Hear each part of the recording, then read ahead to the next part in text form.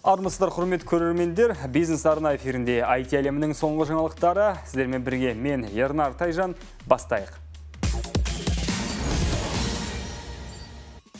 Bloomberg басылымының шолушысы Марк Гурман Apple 2024 жылы iPad планшетті компьютерлерінің бүкіл желісін жаңартады деп хабарлады. Яғни сарапшы пікіріне сенсе, келесі жылы нарыққа жаңа iPad Pro, iPad Air, iPad mini және iPad модельдер шығарылады. Айта кету керек, биыл Apple планшет желісін мүлде жаңартпады. Бұл үрдіс 2010 жылдан бері үзілмей келген еді. Оған қарамастан 2024 жылдың наурызында iPad Air, қыркүйегінде iPad mini және қазан айында iPad және iPad Pro таныстырылады деген болжам бар сонымен қоса гурман мырза Apple-дың хит болған AirPods-тарының да жаңа жыл алдында жеткіліксіз көлемде шығарылып жатқанын да тілге тиек етті.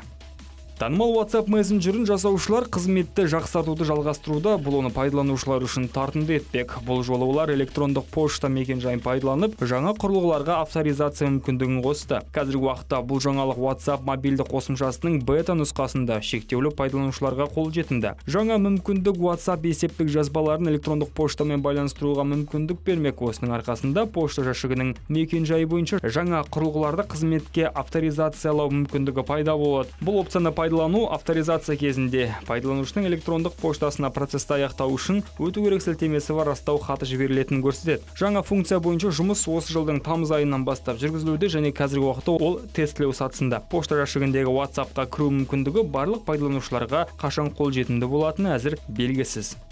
Қытайлық ғалымдар америкалық танымал Starlink интернет спутниктермен күресу шараларын қолға алмақшы. Олардың пайымына сүйенсек америкалық жүйе әлемдік интернетті орнатумен қатар әскери мақсатты көздейді. Бұл қытайлық билік үшін қауіпті. Сондықтан аспан асты елінің әскерилері қазірдің өзінде Илон Маск жобасына күдікпен қарап оған төтеп беру тетіктерін жан жақты қарастырып жатыр. Бұл туралы Modern Defense журналында жарияланған мақалада хабарланды. Бүгінгі таңда Starlink жобасына арнайы құрылған қытайлық жүйе тест режимінен өтуде. Оның аясында арнайы құралдардың көмегімен спутник спутниктік бағдарламалық жасақтамасы мен операциялық жүйесі өшіріледі. Ал екінші кезеңде спутник физикалық түрде жойылуы мүмкін. Онымен қоса қытай әскери ғалымдары әрбір старлинг спутнигі үшін ұшыру фактілерін ашатын тыңшылық бақылау жүйесін құрды ұсынды.